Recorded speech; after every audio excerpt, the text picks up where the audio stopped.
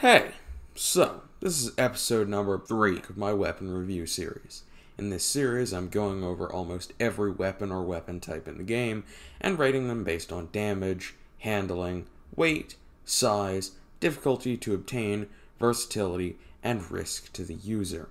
They'll be ranked on a scale of 1 to 10, with 1 being basically useless beyond like your first weapon that you ditch after 10 minutes, and 10 being absolutely god tier, where it's basically easy mode.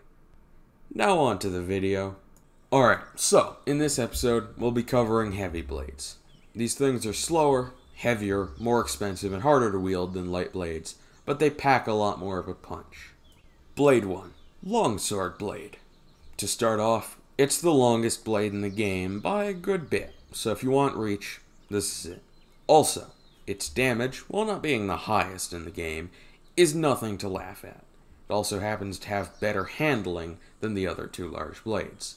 Overall, 7 out of 10. Blade 2 Great Sword Blade. If the longsword blade has reach, this beast has damage. Nothing tops this blade when it comes to raw damage per hit, despite it not being the largest or the most costly blade in the game. All of that said, the raw damage doesn't come without some drawbacks, most notably the handling. But the handling issue is negated by using two hands instead of one. Overall, 8 out of 10. Blade 3 Thick Greatsword Blade. This one just makes me sad, man.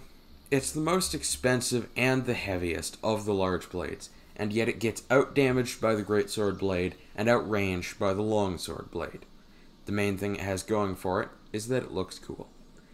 Its handling isn't amazing either. All that being said, it's not worthless. It'll still kill the shit out of anything you swing it at, and it's still wieldable with two hands. Overall, 7 out of 10. That was all the large blades.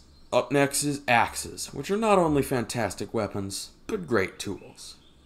See ya.